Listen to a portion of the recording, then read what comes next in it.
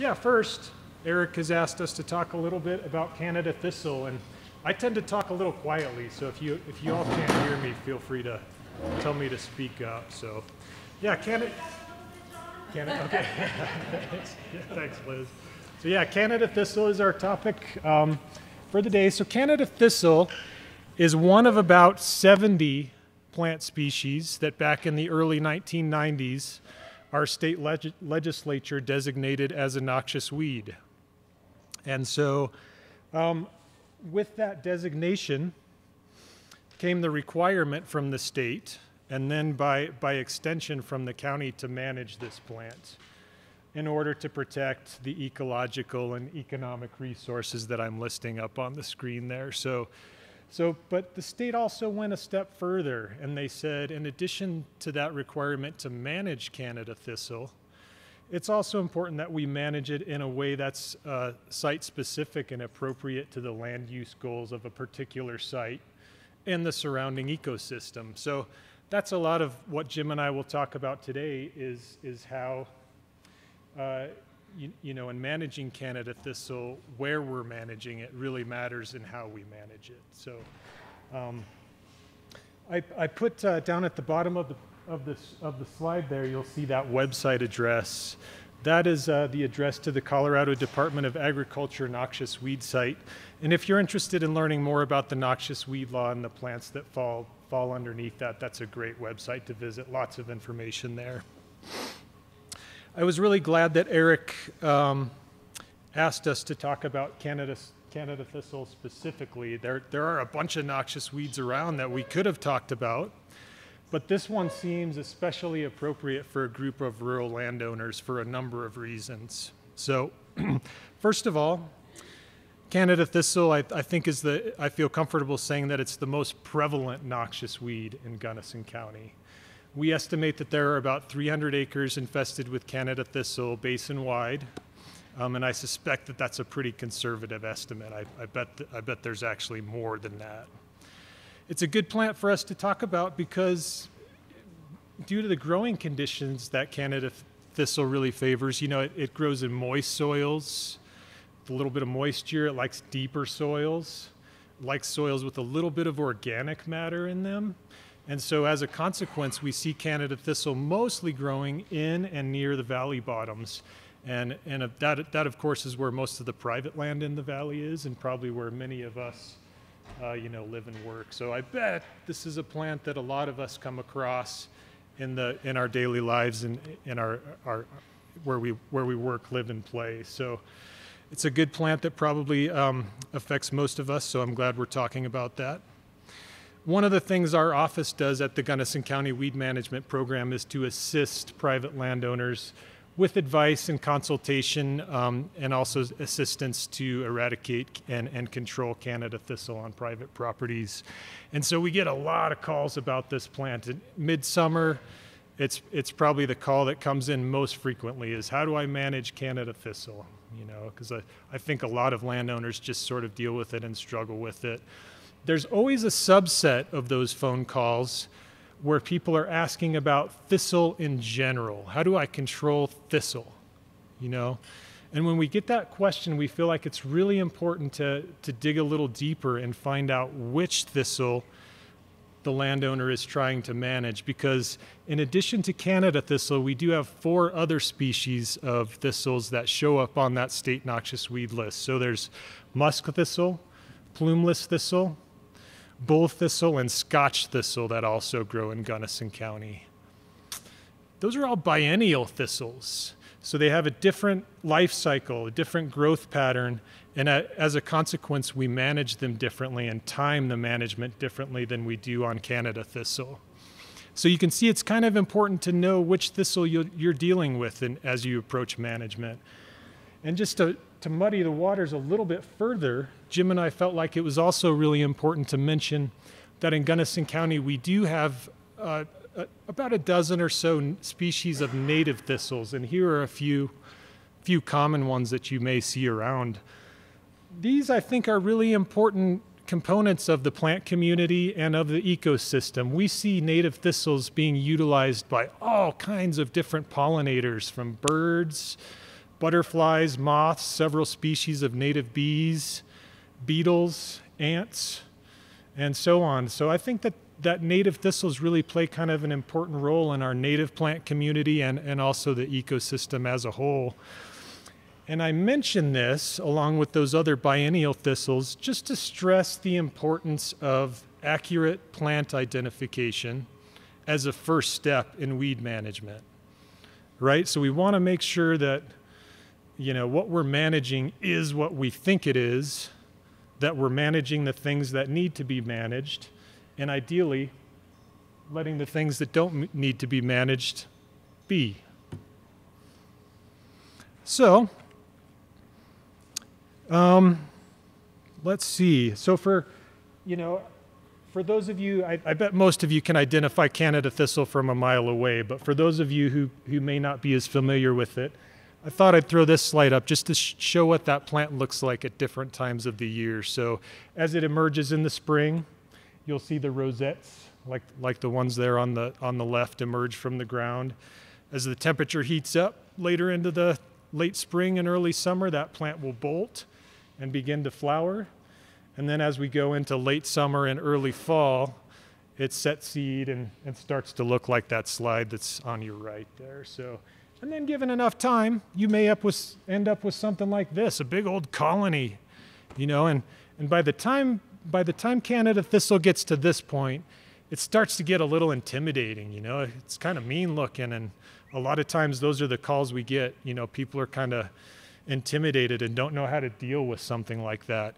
And it's another reason Jim and I felt like it, Canada thistle is a great plant to talk about at this at this event because as mean and intimidating as that looks, Jim and I find that if you can implement the right control methods, time them correctly, and be persistent about it over the course of three or four or five, six years, depending on severity of infestation, this is a plant that you can manage. It, it really comes under control fairly easily, and it's something that, um, you know, if you do it right, you can really be successful with it. So that's another reason we were excited to talk about Canada thistle today.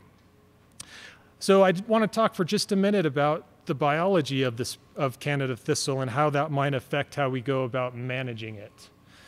So when it gets to this point, you know, late summer, the plant's full of seeds, it's easy to get real panicky about it because you know you think oh boy the next windy day that comes along those seeds are going to blow everywhere you know and i'm going to have a million plants on my property next next year and it's easy just to sort of give up. But the good news about canada thistle is that seed viability is is really very low. Somewhere in the ballpark of 5 to 10% of canada thistle seed is viable or has the ability to germinate. And then of that 5%, you know, I, I, mentioned that Canada thistle has a somewhat narrow range of places where it likes to grow. So of that 5 to 10%, only a, only a certain percentage of those seeds will land in a spot where they can germinate and establish. So, um, you know, that being said, each Canada thistle plant can produce up to about 5,000 seeds on average if it's healthy. So even if one or two percent of those plants finds a good or seeds finds a good place to germinate, it's still a fairly significant number of new plants that that can can germinate and, and establish new colonies. But I did want to mention that that seed viability aspect because a lot of people feel like oh they just failed if their plant goes to seed, but really a lot of times it's not as bad as it looks, you know. So where Canada thistle is concerned from a control standpoint, it's really the vegetative growth and reproduction that we're concerned about as opposed to uh, reproduction by seed. So Canada thistle is a creeping perennial with a rhizomatous or like a net-like root system. And let me show you a picture of what it looks like underground. That slide on the right is where they've excavated down into the root system. And that root system can really run both vertically, uh, uh, vertically and horizontally as much as 15 feet or so. So you can imagine by the time a plant gets to that size, it's got a lot of stored energy in its root system. And the plant's response when we go to control that top growth, regardless how we do it, whether it's by chemical means or if we mow it or pull it, the plant's response is going to be to send up energy from the root system and form a new flush of top growth. And so, to put it very simply, our goal in controlling Canada thistle over time is really to diminish the stored energy reserves in the roots more quickly than that plant can make new energy from the sun. So, we're just trying to exhaust that plant over time, and that's why persistence is, is such a key aspect of control. The, the complex part arises in deciding how to best go about um, exhausting that root system given the conditions on the site, the land management goals, and the surrounding environment. And I know of nobody who's more experienced in dealing with those various situations than this guy right here, Jim. So I'm going to turn it over to you, Jim, to talk about methods of control. Thanks, Jon. Can you switch it over to mine for me? Run that for me? This is a new experience for me. I've not ever done this um, today we're going to talk about Canada thistle control in turf and small pack pastures. And if we have time, we'll go into some flower bed stuff. But the first thing, we've got some things that are common to all of them, and the 10 foot rule is the old standard to spray the weed in 10 feet out from the weed. What we see a lot of is, is the donut effect. People will get the center of it, but there's weeds on the outside. There's two things that happen. One is you'll miss the little tiny seedlings that are outside of where the very uh, big plants are. And the second thing is, is that if you're using a chemical that can treat, go into the ground and get the roots, as Jon said, those roots extend far beyond that big plant that you're looking at.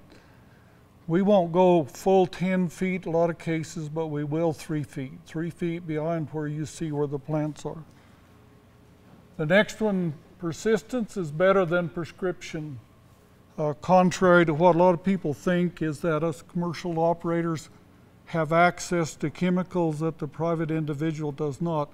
That's not usually the case. There are a lot of over the counter chemicals that are just as effective, but persistence again, stay with it.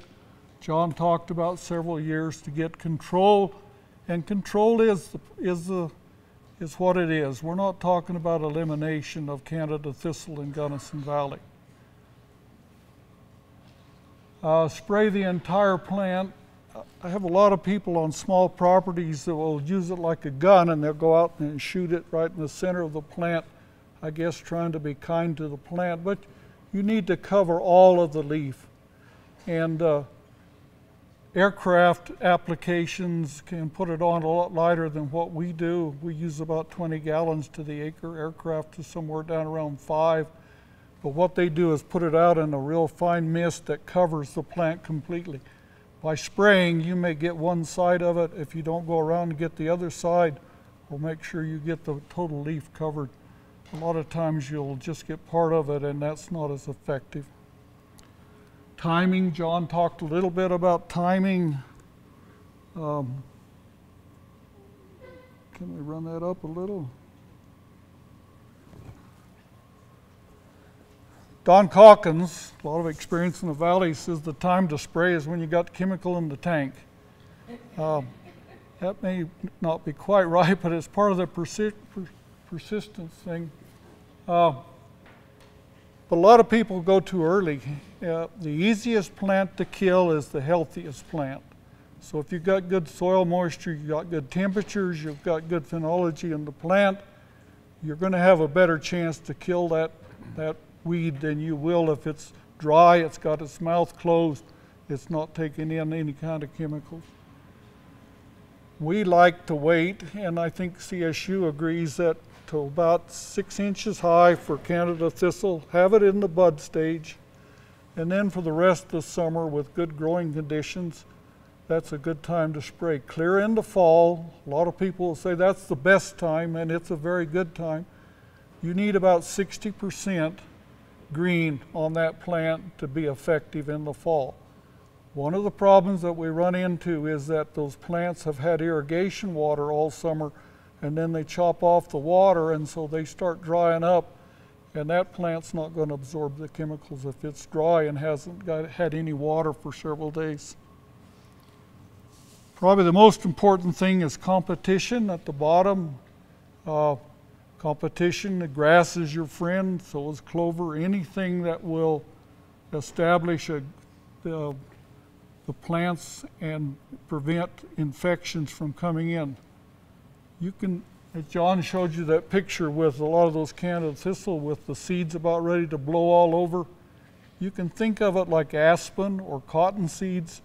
You know, man, if, if a very small percentage of aspen and cottonwood uh, that flew around took hold, we'd be in a bamboo forest around here. And so, if you've got your ground covered and, and got a good cover and not being disturbed, you've got your first line defense against any kind of infection. And then you want to work on the infection. Okay, precautions drift is the number one problem that we run into. And so if you spray and you've got some wind, uh, or it's in a situation where next to a building, we've seen a lot, and you'll see it with the smoke, it'll curl around the building and you'll actually get some damage to plants that you wouldn't think you ever would. But so watch, watch that. Inversions will hold things down just like smoke, and so your, your chemical mist will, will travel quite a distance. So if you're around desirable plants, make, make sure you understand what's going to happen. Surfactant is, is something you add to it. A lot of people add a little Dawn soap, just a tiny bit. You can think of it like the hood on an automobile that has a lot of wax on it and the water all bubbles up.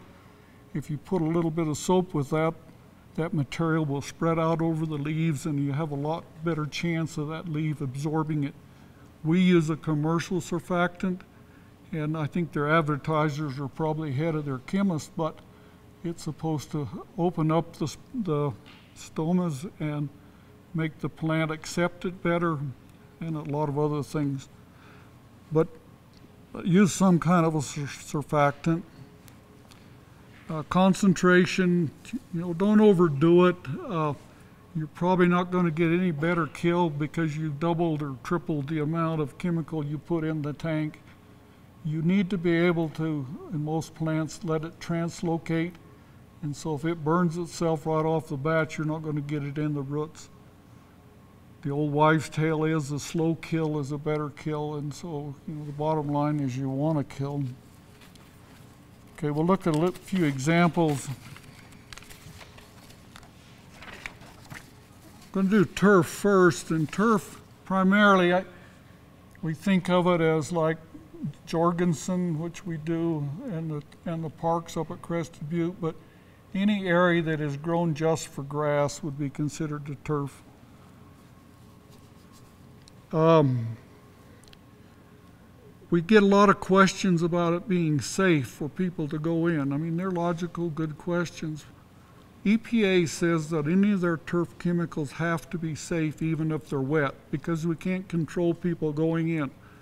This is true in the parks and it would be true at your place if you was going to spray and you didn't have some way to keep animals and people out of there. And so the ones that they will label for turf have to be safe even if they're wet we ask people to stay off until it's dry, and then it's just like a salt on the leaf. It, it flakes off, and, and so you give, get another safety factor. We talked about the chemicals, and uh, there are a lot of chemicals that are labeled for turf. We, most of them, the good ones, are a three-way chemical. One, one of the chemicals will kill through the roots, which is usually Dicamba is a, is a good one, and you'll get one that'll kill through the leaves and translocate. And MCPA is, is one of those. But the bottom line is look for a combination of chemicals. You, you'll get a better hit on your plants with that. Uh, the one that we use is called horsepower and cool power, depending on the temperature. And those that same chemical is available to you folks over the counter. Small pastures, uh, it's obvious if the infection's very big, you're going to have to have some kind of mechanical application. Am I running over? No, you got five minutes. We'll, we'll get you a microphone real quick. Some kind of mechanical application, again, you need to be able to put it out a long ways past where you think the infection is. Past where the infection is, uh, and you also, that way, can put down enough chemical to do some good. You're not out there just shooting with a, with a gun. I, we see people go out with scissors and cutting them, uh, and, and I won't mention the place, but uh, and then next step up is they get a little Windex bottle and they'll go out with that. And then finally at the end, they'll do something that really makes a difference with some kind of larger mechanical application.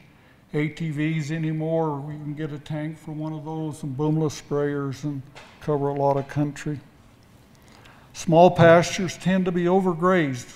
You know, we, and, and so when you do that, you're opening up the soil, you're taking out your competition, and you're, you're ripe for infection. And, and the plants that are in there are going to have a advantage because the animals use it are going to not be concentrating on the weeds you want to get rid of. They're going to be concentrating on the plants that taste good to them. Chemicals, um, probably the one that's the most popular is Milestone. I think the local conservation district sells it. The chemical in Milestone now is in several other formulations. The one we use now is called Opensight. It's a granular formu- formulation. We like it because it combines two chemicals and it's about the same price and we don't worry so much about spillage. And uh, so secondary containment and storage is, becomes less of a problem. We like Opensight. The downside to Opensight is, is that it, the label will tell you that the hay and the manure must stay on the place for 18 months and just use it yourself because that chemical can be passed through the hay or through the manure and then if it goes into compost or on somebody's place where they want to save the broadleafs, uh, they're at risk. We tell people, we hand them a written um, brochure, a brochure that tells them of this, so if they sell the hay, the person that buys the hay has, has been informed of what they have to do with it. It- It's uh, the other one that is an old time one is Tordon. Tordon kills through the roots, and I had one place that I could not get any kill on it. And I finally figured out that there was so much litter on the ground, there's so much duff, that that chemical was absorbed just like a sponge and never ever got to the roots. Tordon is a, is, has a good re- residual effect, but it is deadly to any kind of nightshade plants, tomatoes, or, or potatoes. It's banned in the San Luis Valley. They won't let it come down there, so it's a restricted use pesticide, not because of what it does to plants or humans, uh, like plants other than the, the uh, nightshades. But it's, it's a good old standard.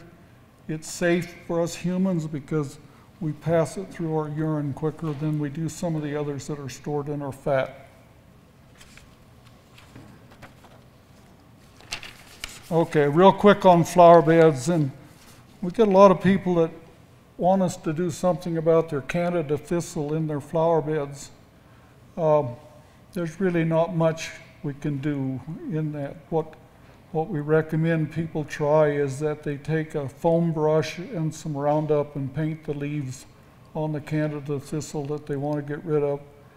If it's a young infection, they can dig them out, and again, that uh, over a period of time you can deplete their root reserves and, and get some kind of control. But a lot of times they just need to dig the flower bed up and start all over because it's it's almost hopeless once they get infected. I'm happy to talk to anybody one on one at any time you have any kind of questions today or later. Let me know. I have a very bad hearing disability, and so group discussions are pretty much out for me. Thanks everybody for coming.